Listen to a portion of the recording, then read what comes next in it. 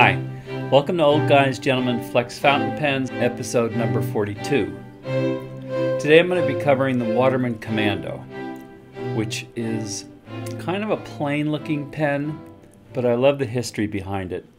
They were pens that came out in the middle of the war, which means sometime between 1942 and 45, and they were brought out in the colors of the different services. Now, this one I think is a maroon. I guess that would go with the, the Army. It's got a 14K ideal nib, uh, lever sac filler. I believe it's made of uh, celluloid. They also made them out of uh, lucite. The length of the pen uh, posted is 6 and 1 16th inches, which is a, a nice, comfortable uh, pen size for my, my, my writing. Unposted, it's a little bit on the short side. It, it would work, but it's a little short. It's 4 and 13 sixteenths. Capped is a um, comfortable 5 and an eighth inch. The diameter of the section is 3 eighths of an inch, which works okay for me. I sometimes like them a little bit larger than that. Barrel diameter is 7 sixteenths, so just short. So it writes in the range of triple extra fine to double extra fine with a light hand, uh, downstrokes maybe double extra fine, and with progressively more force in your strokes, you can comfortably get it up to um, double broad plus. It's definitely full flex on the verge of wet noodle. It's very easy to um, it's very easy to to bend. No, I take that back. It's more of a full flex. Wet noodles bend by just putting just a little bit of pressure on. This takes a little bit more than just a little. As you can see here, it's uh, very smooth, really nice for um, Spencerian or other kind of writing that you want to do, and it it just feels nice and smooth. There's nothing really scratchy about it. The responsiveness is pretty good. Some of the other ones maybe are a little bit better. But it cuts it off pretty quick. By the way, the ink I'm using is Pelikan 4001 Brilliant Brown ink.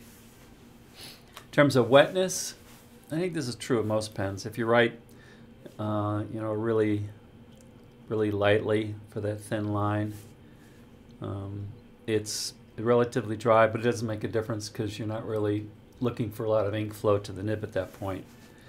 If you do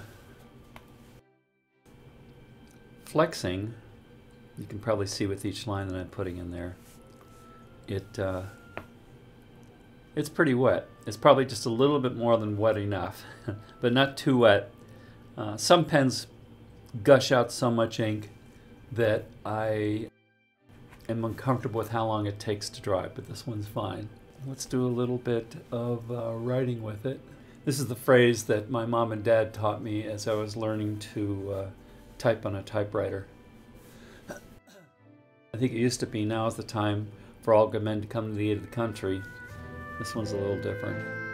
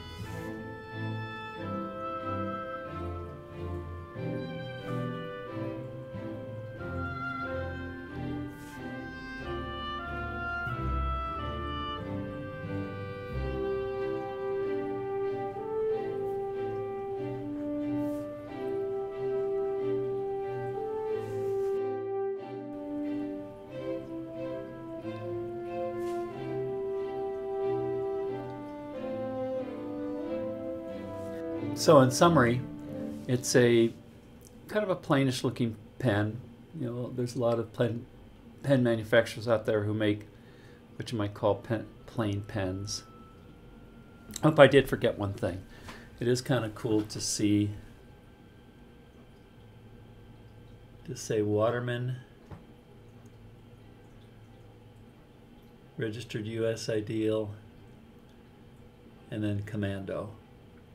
I think that's that's kind of neat. It is kind of a plain design, but the period of history that it was made in is kind of cool, and it's got a really nice uh, nib. You can do some relatively fancy um, penmanship with this kind of pen. Very reliable.